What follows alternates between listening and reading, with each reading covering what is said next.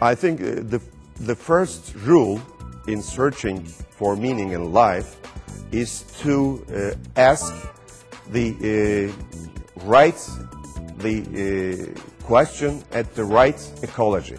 He points out an important strategy when employing the four ecologies to understand life.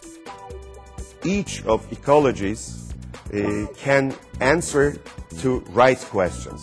So it's very important in struggling uh, or in searching for meaning in life uh, to ask right question at the right ecology.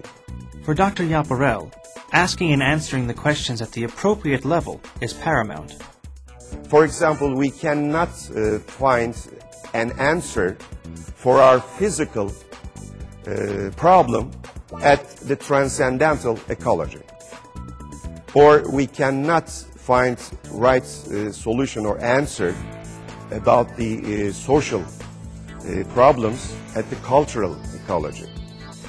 While living in each ecology can help us ask and answer the questions appropriate to that ecology, a holistic approach to life makes the most sense according to Dr. Yaparel, because each of the ecologies are related and interdependent on one another in some way. So the holistic approach to life is uh, very closely related to find uh, answers uh, for all ecologies at the same time. So there is a close relationship between these different ecologies. For example, uh, we need to satisfy our primary needs first uh, in order to be able to find uh, right answers, for example, for spiritual ones, maybe. So uh, we cannot separate these ecologies or dimensions of life from each other.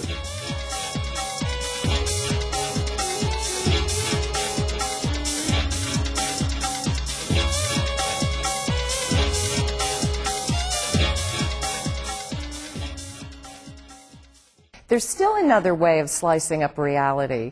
Our next guest is a leading thinker in the area of transdisciplinarity. Through the study of quantum mechanics and philosophy, Dr. Basarab Nicolescu asserts that there are many levels of reality or ways of perceiving and understanding the world. He points out that there are over 8,000 disciplines in the world today. We could look at the world through the perspective of science, politics, art, literature, law, and the list goes on. But he and researchers like him believe that there's another way of perceiving the world that ties all of the disciplines together and yet goes beyond all of them. In 1900, Max Planck made a remarkable discovery that turned the field of physics upside down. Albert Einstein, writing in 1954, described Planck's work in this way. This discovery became the basis of all 20th century research in physics. Without this discovery, it would not have been possible to establish a workable theory of molecules and atoms and the energy processes that govern their transformations. It has shattered the whole framework of classical mechanics and electrodynamics and set science a fresh task, that of finding a new conceptual basis for all physics. Dr. Basarab Nicolescu, president of the International Center for Transdisciplinary Research and a specialist in the theory of elementary particle physics. His interest in the complex and the multi-level nature of reality began with the study of quantum mechanics. The study of the infinitely small level showed completely paradoxical properties. For example, the beginning of the discovery by Planck, Max Planck, who gave the name of quantum, quantum physics, of discontinuity in energy. This means that when an electron, for example, goes from one level to the other around uh, in the atom, doesn't go through intermediate states. This just jumps from one level to another without passing through intermediate states. A very strange thing, this continuity for the conception of realism which was prevailing before Planck.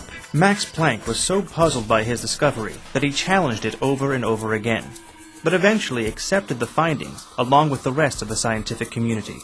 His findings were so unsettling because what they ultimately meant was that instead of having a continuous chain of cause and effect, now we had discontinuity, and that meant a new type of causality, and this had far-reaching implications. So what is the story about subject and object? Usually the modern conception, in modernity, from Descartes. We have the idea that there is a reality there, an object, and the observer can see this object, but he's, the subject is completely disconnected from the object, neutral. He just sees the object, studies the object, and discovers the laws. So it's a dichotomy between the subject and the object. And even in our days, especially in human sciences, uh, people continue to use the same description. While there were new laws that applied to the micro level, they didn't necessarily apply to the macro level, and this was intriguing and unsettling. In other words, our usual scale around kilometer, meters, seconds, and so on, all the laws there at our scale are completely in rupture with the laws which are in the infinitesimal. But when we observe the thing, we have an apparatus, we measure the infinitesimal, and we have to translate what is happening there in our own language. At that moment, we abolish the laws of the quantum level. Werner Heisenberg, considered the founder of quantum mechanics, was best known for his uncertainty principle. In his paper written in 1927, Heisenberg wrote, The more precisely the position is determined, the less precisely the momentum is known in this instant, and vice versa. Some have interpreted Heisenberg's argument to mean that every concept has a meaning only in the terms of the experiments used to measure it.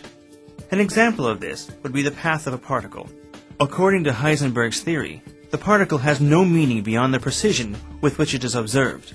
So for Heisenberg, the orbits of electrons do not exist in nature unless and until we observe them.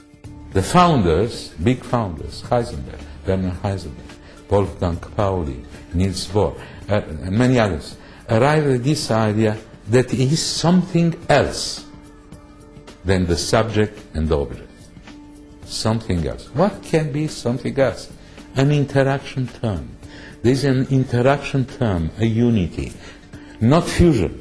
Of course, subject and object remains different, but there is a unity, a fact that is a thirdness, a third term of interaction between subject and object. So when we are confronted at our scale with a different scale, it's like saying that a third appears, a third which is the interaction term between the subject and the object. And of course, this means on the level of knowledge and extrapolations to other fields than just quantum physics, which is one discipline, right? Just one.